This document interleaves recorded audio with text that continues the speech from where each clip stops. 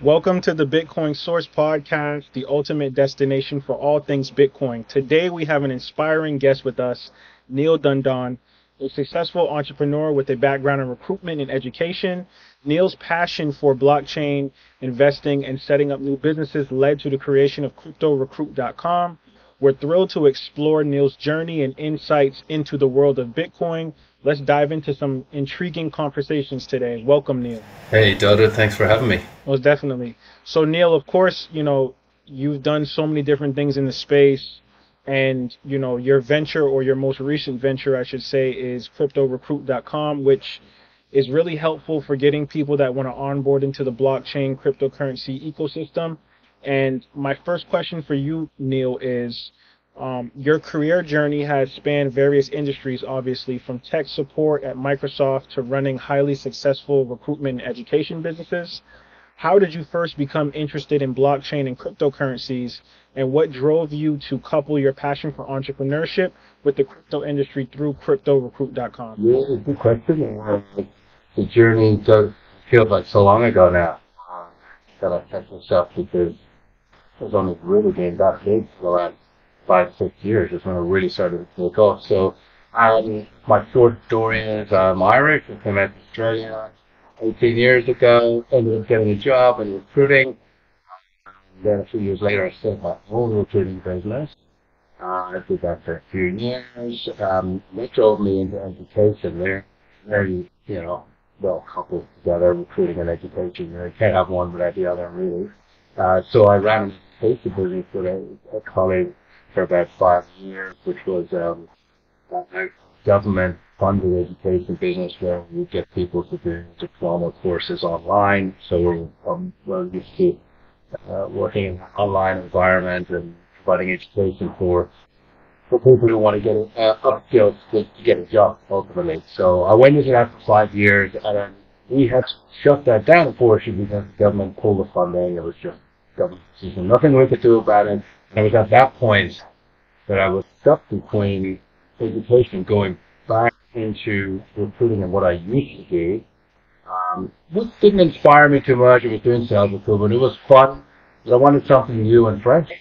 And at that time, I got into crypto personally, so I decided, well, let's couple these two passions, uh, recruiting and so together. That's when I set up. So that was early 2017. So I wanted to do it, get a first mover advantage. Uh, yeah, we set it up so we're the world's first recruiter in the crypto space. Uh, going back as early as 2017, before the big bull run happened. So I could see it happening. Uh, just through my own personal portfolio. I, I didn't know what I was buying at the time. It was only after you buy buying that you go back and you start to study it. I think that's most people's journey. So yeah, so we've been doing recruiting since uh, since 2017. Typically, our team is global, and we do a lot of work with mostly the US actually, um, but Europe and Asia Pac region as well. So we're pretty global business. So this kind of leads us to very yeah. Yeah, nice. Thank thank you for that answer. And you know, when I started my journey, which ironically I started really getting into cryptocurrency heavily in 2017 as well.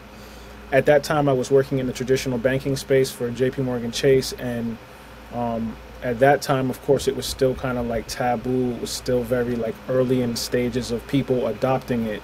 And I've always had this passion to be involved in blockchain technology. And then I later, of course, got really, really engulfed into Bitcoin. But, uh, you know, the interesting thing is where do you see the demand for blockchain technology specialists or people that are hungry to get into the cryptocurrency space? Like, have you seen the demand increase over the last few years when you since you started Crypto Recruit, or has it become kind of stagnant because of uh, regulation and the SEC and all these different government entities that are trying to suppress the the, the, the ecosystem right now? Yeah, good question. So. Look, the simplest way to answer that is it kind of follows the prices to an extent. The, the the jobs curve goes along with those prices, goes up and down, and as you know, there's a bull market, jobs go up, and people start building again. So, as a general rule, um, that's how it works. So, back in 2017, There were a lot of ICOs, if you remember, and unfortunately, there were a lot of scams. Uh, you know, this is one of the issues with crypto. And I would say, by the way, don't come into this industry if you're not willing to accept the highs and the lows of it. Um, I think that's why a lot of people leave the traditional banking sector to come into crypto because it is exciting. There's something happening every day. Um, now, unfortunately, with that, you know, as the prices go down, as we're seeing now, there's a lot of layoffs happening in crypto. Um, so it does trend up and down just like those prices. But, you know, at the same time, there's a core base of solid projects who've been, you know, invested in through the big guys who've got uh, plenty of money to put in and, and, and see this through. And so there's a, still a lot of core jobs left in the crypto space at the moment. That, that is still rising. The, the base and the infrastructure has been built, especially over the last two to three years. There's a lot of integration happening with Wall Street and the big financial centers now because – they can't deny it any longer that Bitcoin and some other crypto assets are becoming an integral part of the system. So it's kind of evened out lately, and it's just become almost like another arm of the tech industry, really. So while there is still fluctuations up and down in terms of jobs that are more volatile than the traditional tech sector, um, that will come back when we when we get into a bull market. We will see uh, those jobs start to increase again. So yeah, so that's kind of to answer your question. It's it's it is volatile. It's up and down, and but, the jobs are there. You just got to search a bit harder these days. Yes, I, I agree with that. And it's such a such a niche market that you know I've gotten certifications in blockchain technology. You know, um, C4 has a, a, a, program where they give people uh, Bitcoin professional roles. So it's a lot of different like ways to educate yourself. And then when you start to look on Crypto Recruit and you see the high level uh, types of jobs that, that they're actually asking for. It like always makes me wonder like where do people traditionally learn this skill set? Because it's not like we've seen this ever before in the finance or the tech market. So it's like one of those things where you just kind of have to be innovative and if you have some of the skills you probably can learn on the fly or mesh them as you go along. And that's kind of the beauty of this this industry too is that um, if you're coming from a banking sector or an engineering sector you literally can come in and innovate and make changes to the market and to the ecosystem that you probably couldn't do in a traditional legacy system. So, uh, you know, you you creating something like this is, is a huge um, channel for people to have opportunities as a training ground to, to learn about blockchain and cryptocurrency. That, that that's a good that, that is a good point. It's interesting. People often ask, where do I get trained up? What do I do? How do I get into Web three? How do I migrate from Web two to Web three? Well, funny you mentioned that because we are building. Look, well, let me just go backtrack a bit. There are a number of courses out there. You can do degrees. There are a few universities doing degrees, but they're very fundamental of blockchain, not very practical. Um, I mean, you can spend thirty, forty thousand dollars doing a degree in, in blockchain with one of these universities if you want. I'm quite a practical person. The way I see it as a person who looks for people for clients of mine, I want to see practical experience. I want to see people who can demonstrate a knowledge of the Web3 ecosystem. Um, so on that, actually, we are in the middle of building a very practical course that uh, helps people migrate from Web 2 to, to Web 3. Very practically minded from a job seeker's perspective, uh, things that you would need to know to get a job in, in, in Web 3. The interesting thing is there's most of it is much the same as Web 2. There's just some incremental differences that you need to get into Web3. And when you're talking about programming and developing, uh, yeah, you do need to know some specific languages like Solidity, Rust, those type of things. But generally speaking, if you're getting into another area like sales, business development, marketing, it's more just about understanding the ecosystem, right? The layer ones, layer twos, DeFi, you know, fundamentals of, of crypto. Once you know that, then you're kind of well equipped to come into the space. Couple that with some experience in industry, and you're well positioned to get a job. Exactly, 100%. And Neil, you know, my audience is like really hardcore Bitcoiners. And the reason why I have you on additionally is to kind of let people know that the protocol needs people from all different avenues. So, for example, like you mentioned, that there's sales, there's customer service, there's other things outside being an engineer in this industry. And I think that, you know, if you can learn customer service on a different uh, uh, you know protocol it still correlates to other things down in the industry and, and it bolsters it for everybody so um, a lot of times we just can't get that dream job out the gate so Crypto Recruit can help people do so. So thank you for taking time to kind of explain that. Absolutely. Yeah. Yeah, and that's it. I mean, it, it's like I said, it's just about uh, you know, as a customer service as an example. If you're doing customers giving customer service to a potential customer, they want to know you're on the level and that you can speak the language of crypto. You know, so ninety percent of it is your customer service skills, but don't forget to learn the system. You know, and how it all works. You know? Exactly. And uh, Neil, so you know, I know you're based way down under, and I think the laws, the regulations are completely different there compared to people in the West. And you know, how do you navigate the regulatory landscape when it comes to recruiting talent for blockchain companies, especially in regions with varying regulatory approaches? Yeah, so um, that's coming to the forefront now, regulation, and rightly so because of all of these scams, the Luna, FTX, everything, Voyager, Celsius. Oh, it's depressing even thinking about it, right? these guys have, have, have, really put a dent in the whole market, but. Um, as we know, Bitcoin and crypto always recovers and starts to hit new all-time highs, and expect the same to happen again. I really do believe in that. Uh, people write it off all the time, um, but regulation is an important component of that to make sure that you know people are acting uh, with good ethics and morals in the space. There's you know it's to rid the industry of the grifters, people who just want to take advantage. So. Um, but to answer your question, how we navigated. We we don't really fall under any of that regulation personally. We see our clients have to adhere to any of these regulations, but our job is really just to search uh, and do the heavy lifting of selecting the right candidates for our clients. Ultimately, it's it's up to the clients what they do with those. So, fortunately, from our perspective, we don't fall under any regular regulatory requirements, so we get away with that. Uh, but yeah, uh, and uh, you know the differences between look, uh, U.S. usually leads the way when it comes to regulation, and then you know other countries start to follow. So we are starting to see a fair bit of it happen here in Australia and the Asia Pac region as well. Uh, but we're well used to the U.S. market because that's where we do most of our work anyway. So. Nice, thank you for that. And you know, speaking speaking about regulation, it makes me think way back when I first got interested in cryptocurrency when the global pandemic hit, that's for me personally. Like I was dabbling in it before that, but when the global pandemic hit, I really started to pay attention to seeing an actual use case for this digital these digital assets because before that, it was kind of just like hold them, hodl, stack them. There was no place to really be ubiquitous and spend them anywhere.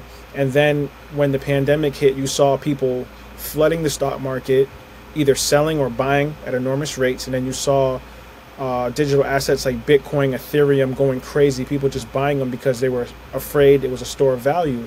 And how has the global pandemic sh- reshaped the industry on your end as far as crypto recruit? Did you guys have to pivot prior to 2020, or did you kind of stay the same course and was actually able to gain more people to kind of go into the industry?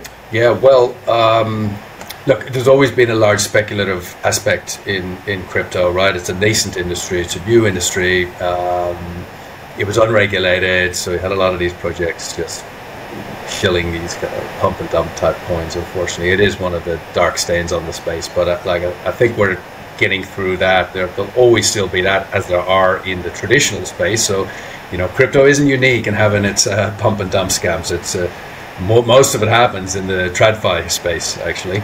Um, for us, though, uh, look, our industry has been primarily remote first anyway. It's one of the big advantages of crypto. I mean, look at me, I'm in Australia and I do all my work in the US.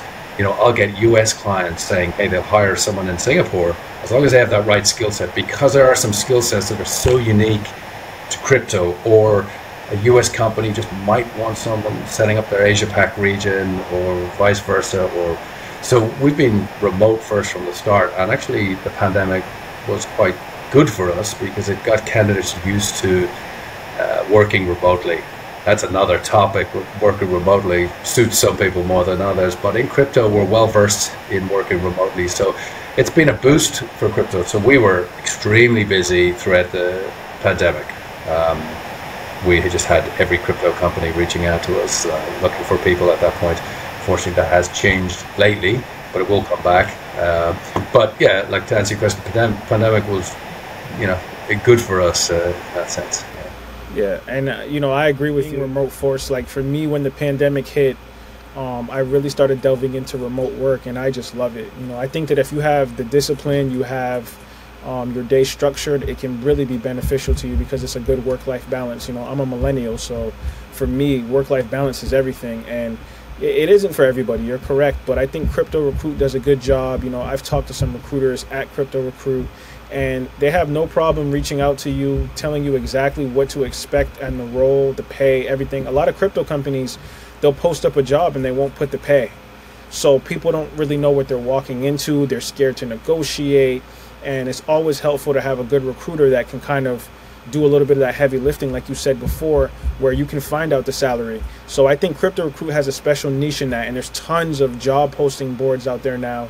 But I think Crypto Recruit is kind of the OG in the space, so it's always helpful to have have platforms like yours. Absolutely. On the, on that note of the, the salary, look, that there is just in defense of uh, some of the job posts that do go up. It's often the client, and I would guess that eighty percent of the clients that I deal with won't really give me a very definitive salary for the position. It's not like the traditional space, like where you go into Google and you have these kind of salary bands, and you climb the ladder and you get to the next band and so on and so on. In crypto, it's still working itself out, even now, you know. So clients are often, look, find me the right person first. That's the most important thing, and we'll work on the salary later. Now, we're here as a recruiting agency, we're not just a job board that posts jobs. We're here actually to guide a candidate through the process when they get into the interview process. So we'll help on the negotiation. It's our interest to find a deal between both parties. We're not here to tell the candidate to ask for too much or the client to underpay too much. We're here to find a balance that works for both, and inevitably it works out in the end. Uh, so. So it is tough, and I absolutely understand the frustrations of, of candidates right now. And you know, we may talk about it later, but the, it is a frustrating market for candidates right now. It's frustrating for us as well, just because there's so few jobs compared to so many applications coming through. And I will apologize in advance to your listeners because they love recruiters. Uh, you love to hate them, right? And you hate to love them because uh, we get a lot of applications coming through right now, and we just can't get through. We, we cannot get back to everyone right now. There's literally thousands coming through. We'd be here all day, all night, trying to get back to everyone. So we do our best, but it's it's just impossible. So uh, just letting your audience know that that's the state of play when they're when they're dealing with recruiters right now. So yeah. And and and to that point, Neil, um, I, I want to commend you too because how we kind of organically connected is because you actually shot me an email in my inbox about kind of apologizing for the lag and the stagnation with the whole entire application process and I found that very like transparent and I like that. I was like, I want to reach out to this guy. Like a lot of CEOs, a lot of founders, especially in the crypto space, they're not taking the time to send personal emails to people about an issue inside of their corporation. So seeing that that transparency was like a big win for me, and I was like, okay. I just wanted to let people know, like even if it's just a gesture, that you know, well, that feel their pain, um, because I think a lot of people out there think that we do quite well when there's a lot of candidates coming through. We don't. We are having a tough, a very tough year as recruiters right now. If I'm brutally honest, like, and most of the recruiters will tell you the same thing. If the if, if they say the opposite, they're likely lying. I mean, it's just macro conditions here at the moment. Not as many jobs. It's tough for us. We get a lot of candidates coming through. So I just thought, as a gesture to some of the candidates that had, uh, you know, applied to roles before, that would let them know that look, we're still here, but there's no guarantees.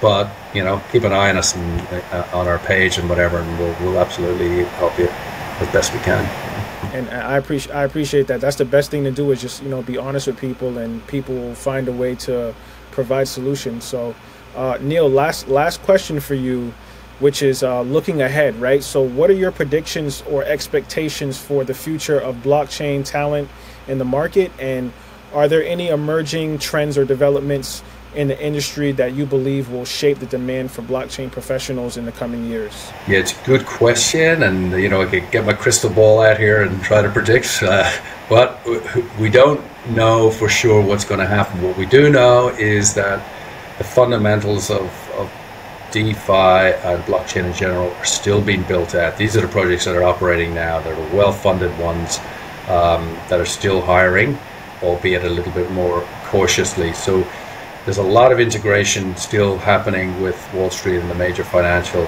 sectors. Uh, DeFi is still a hot topic at the moment, and that's one that's been around. Fell, you know, wasn't so popular if it was. Come back again. There's a lot of stuff happening there. Liquid staking protocols. Um, we're seeing a bit of stuff happen there. Um, tokenization of assets and commodities. You know, logical things that you can do with blockchain technology, right? You can use it to that and get it out to the masses. Um, you know, we've, we've heard news of the ETF coming on, companies like BlackRock getting involved. So there's a lot of hype still surrounding this space. Uh, it's a little bit subdued at the moment, but I expect it to pick up over the. We, we may have a few more months, uh, a bit of a lull here, but expect a bull market to start reappearing early next year, I think, and then we will see, you know, continuation of, of where we left off.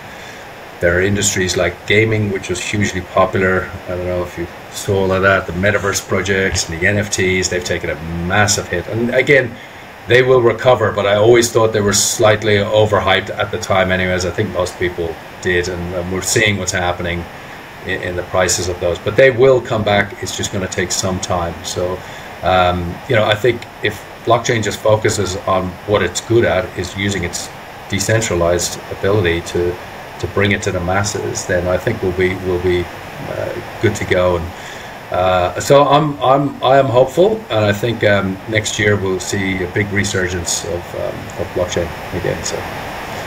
Yeah. Yes, I agree. I'm, I'm looking forward to next year too. 2024 should be huge for the space. So um, thank thank you once again, Neil, for for joining us today. Yeah, pleasure. Yeah, yeah. Nice to meet you, mate.